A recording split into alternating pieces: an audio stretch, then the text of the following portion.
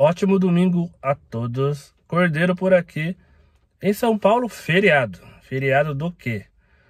Dia da Revolução Constitucionalista de 1932. Caiu no domingão, o povo já tá de folga, né? Mas o Cordeiro vai trabalhar hoje à noite. Uma data muito especial em São Paulo, por isso, feriado.